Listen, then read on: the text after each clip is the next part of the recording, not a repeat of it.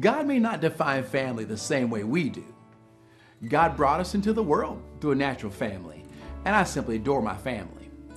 These are the people I've known all of my life, the people I've laughed with, cried with, celebrated with, and spent time with. But Jesus redefines family and suggests it goes deeper than ethnicity, name, or lineage. In Mark chapter 3, verses 31 through 35, Jesus' biological mother and brothers arrive at a house in which Jesus is teaching. Someone announces to Jesus they are outside and wanted to speak to him. Jesus responded, Now, just a heads up, when I first read Jesus' response, my jaw dropped. Who are my mother and my brothers? he asked. Well, then he looked around at those seated in a circle around him and said, Here are my mother and my brothers. Whoever does God's will is my brother and sister and mother.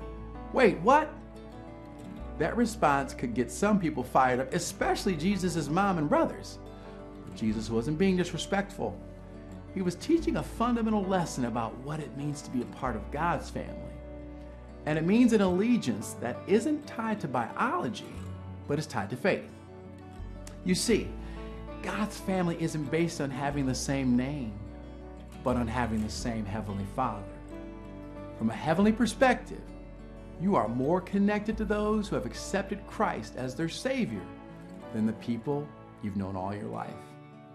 So, next time you're at church, look around at your family and consider how this new reality might transform the way you treat those in the pews around you.